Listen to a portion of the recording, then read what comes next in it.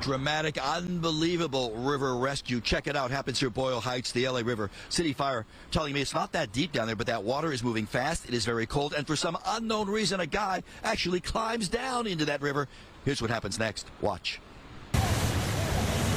The surging LA River in Boyle Heights, swollen from the muddy runoff of the latest storm. The setting for this dramatic rescue by LA City Fire Air Operations. A man trapped just above the fast moving current. He's holding on, struggling for dear life, yelling for help. It's a sheer wall with soldier pylons on it, so he was able to, to hold on for a little bit. We don't know how long he was in the water for, but uh, uh incidents like this, we're always scared of hypothermic, and they're going to let go, and then we'd have to effect rescue farther down the stream. A rescue helicopter lowers down a firefighter. He gets the trapped man into a harness. They're struggling in the water, and then they're both lifted out, lifted through the air to the ground and safety. The man not hurt, but already showing signs of hypothermia.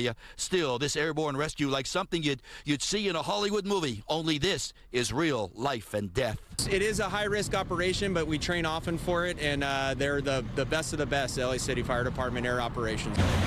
Yet another dramatic river rescue plays out here in Riverside, near Jurupa Valley. A man and a woman and their dog all trapped on an island right in the middle of the Santa Ana River bottom, and that area quickly being swallowed up by fast rising water. Swift water rescue teams rush in with their blue raft. They're hampered by floating debris like this log that goes by in the fast moving current, but they work fast and they're able to pull out the two people. They're the ones wearing the yellow vest there, and they pull out their dog, all pulled out alive, all not hurt.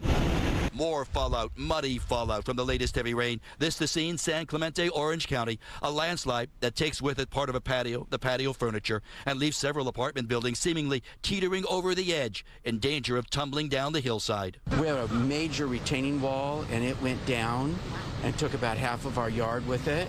And we have a pool, and it's the pool that's holding the rest of the yard in four apartment buildings in all evacuated. They have all now since been red tagged, meaning they are too unsafe for anybody to go inside.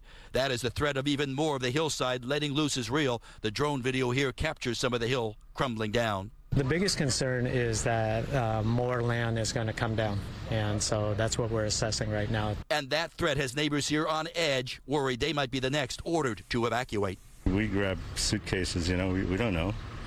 We just want to be prepared, you know.